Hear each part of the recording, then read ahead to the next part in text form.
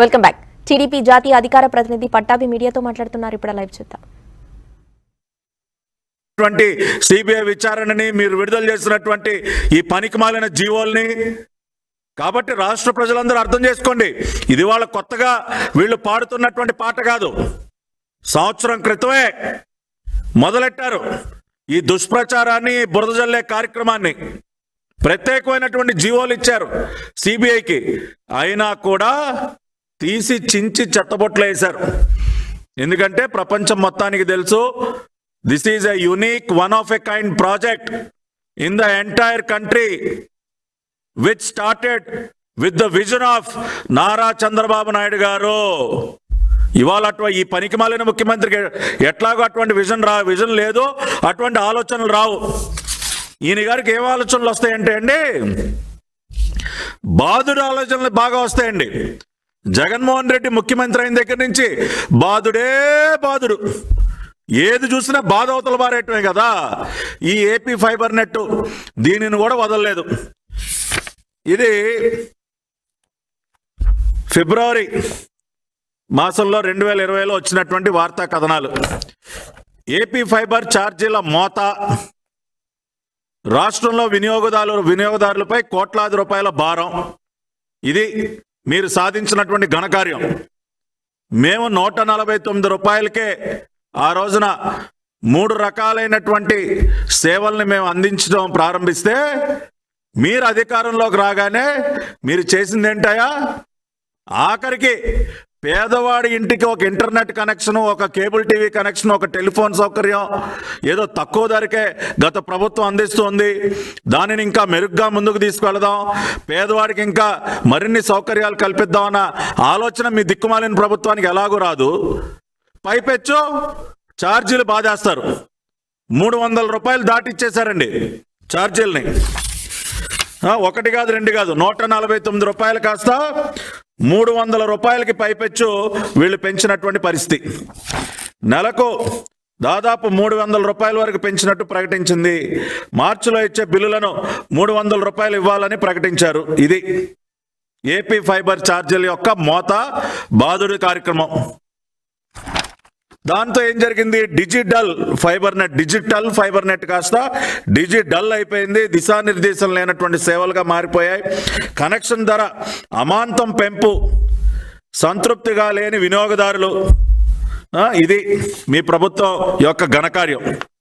దేశానికే ఆదర్శవంతంగా ఉన్నటువంటి ఒక వ్యవస్థని పూర్తిగా భ్రష్టు పట్టించి దాని ఛార్జీలు పెంచేసి రెండింతలో నూట నలభై తొమ్మిదిని కాస్త మూడు వందల రూపాయలు దాటించేసి మోయలేనటువంటి భారాన్ని వినియోగదారులపైన ముఖ్యంగా పేద వర్గాలపైన మోపి ఈ రోజున మాట్లాడతారు.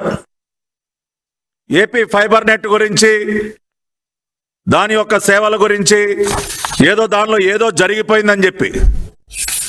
ఆ రకంగా మేలు చేయకపోగా మీరు చేసినటువంటిది ఏంటయా ఛార్జీల మోత మోగించారు మీరు.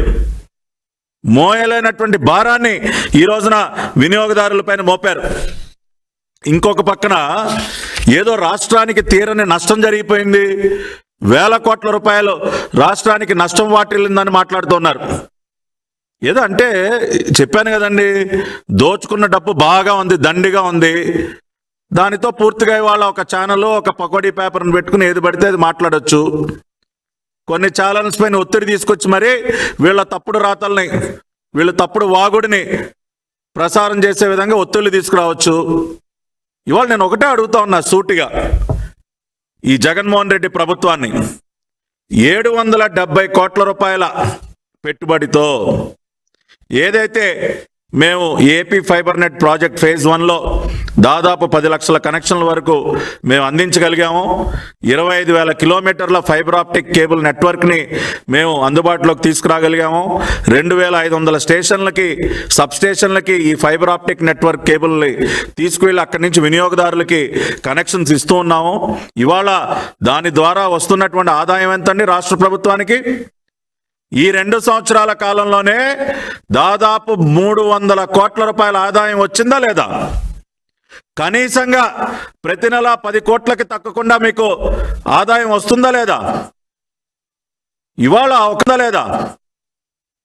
ఇవాళ ఒక పక్కన ఈ రెండు సంవత్సరాల కాలంలో ఏడు వందల డెబ్బై కోట్ల రూపాయల పెట్టుబడికి మా ప్రభుత్వ హయాంలో మేము మార్చి రెండు వేల పంతొమ్మిదికి మేము పదవీ కాలం అంటే మా ప్రభుత్వం యొక్క పదవీ కాలం ముగిసే సమయానికే దాదాపు డెబ్బై ఎనభై కోట్ల రూపాయల ఆదాయం వచ్చింది.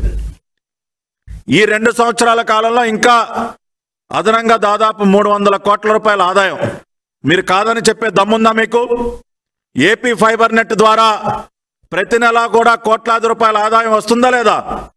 ఈ రెండు సంవత్సరాల కాలంలో మూడు వందల కోట్ల రూపాయల ఆదాయం వచ్చిందా లేదా? తీయండి బయటకు రికార్డ్స్ చూసుకుందాం. ఏ ప్రాజెక్ట్ అయినా ఇవాళ చంద్రబాబు నాయుడు గారు ఆలోచన వల్ల అతి తక్కువ ఖర్చుతో అందుబాటులో ఉన్నటువంటి కరెంటు పోల్స్ని వినియోగించుకుని కేవలం ఏడు వందల డెబ్బై కోట్ల రూపాయల అతి తక్కువ ఖర్చుతో ఈ ప్రాజెక్ట్ని పూర్తి చేయటం వల్ల ఇవాళ దాదాపుగా మూడు వందల కోట్లకు పైబడి ఈ రెండు సంవత్సరాల కాలంలోనే ఆదాయం వచ్చింది. నేను ఈ పనికిమాలిన ముఖ్యమంత్రిని అడుగుతున్నా ఈ రెండు సంవత్సరాల కాలంలో నువ్వు ఏదైనా ఇటువంటి ఆలోచన ఒక్కటన్నా చేసావా? రాష్ట్ర ఆదాయాన్ని పెంచేటటువంటి ఒక్క ప్రాజెక్టుకైనా శ్రీకారం చుట్టావా? ఏది ప్రజలపైన ఎక్కువగా భారం పడకుండా ప్రజలపైన ఎక్కువగా భారం పడకుండా ఒక ప్రాజెక్ట్ని పూర్తి చేయటమే కాకుండా దాని ద్వారా